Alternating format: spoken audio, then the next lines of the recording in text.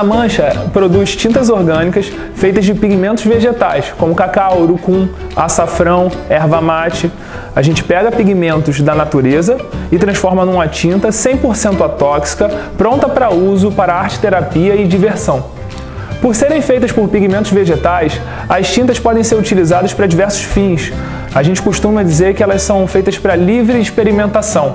Elas têm aroma, textura de cada pigmento. Então elas têm o cheirinho do cacau, a textura do urucum. Isso permite que as crianças desenvolvam suas capacidades psicomotoras com atividades lúdicas e criativas. Hoje em dia, a Mancha já distribuiu mais de mil potes para crianças de todas as idades. Desenvolvemos inúmeras atividades em parceria com escolas particulares e públicas.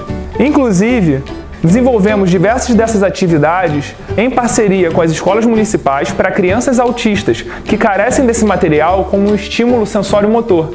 Promover a infância através do uso de tintas orgânicas é também promover um mundo melhor para as novas gerações. Quanto mais crianças tiverem acesso a esse material que promove sustentabilidade, arte, consumo consciente e alimentação saudável, melhor. E se você quiser saber mais sobre o nosso trabalho, Conheça o nosso Instagram Mancha Orgânica e saiba como ter também os nossos potinhos em casa.